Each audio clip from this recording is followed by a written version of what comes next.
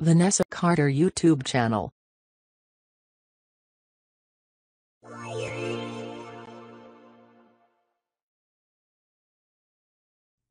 The easiest way to recover corrupt Excel file.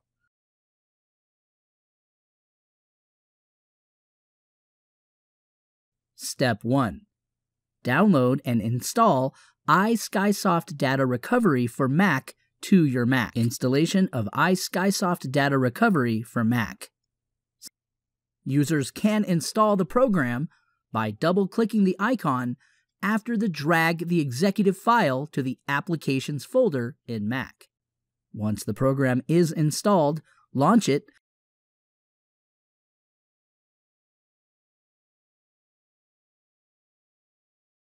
Launch the program after completing the installation procedure from the primary window of the program.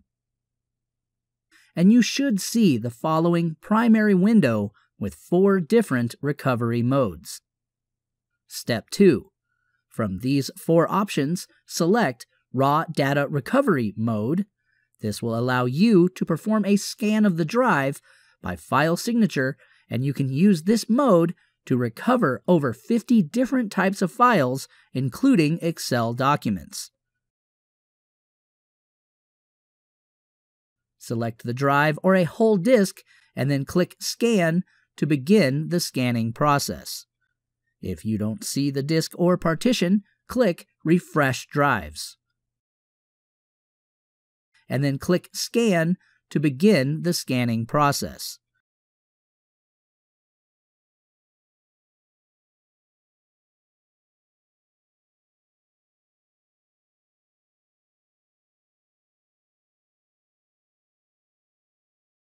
Step 3. Once the scan is complete, you will be able to see all of the files available on that disk or drive. Now all you have to do is simply select the files you would like to recover and then click on the Recover button to save them. It is important that you save the recovered files on a different disk. An external storage device is a good idea.